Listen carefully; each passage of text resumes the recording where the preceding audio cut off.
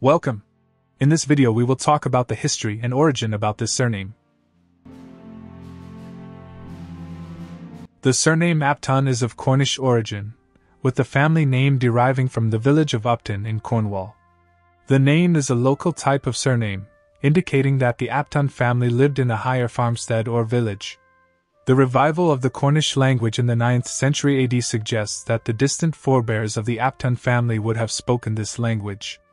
Surnames became common during medieval times, and many Cornish surnames are topographic or habitation surnames, given to people who resided near physical features or in specific areas.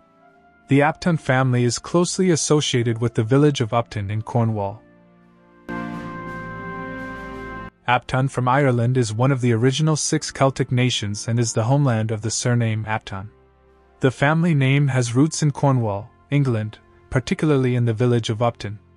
The name is derived from the Old English words up plus ton, which literally means higher farmstead or village.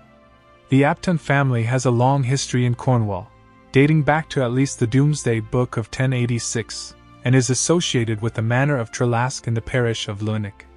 The family's origins are ancient, and they are said to have been descended from Ralph Fitzstephen during the time of Henry II. This surname may have several different spelling variations, such as the following. The Apton family has a history of migration, with some members relocating to Ireland, and others venturing to North America.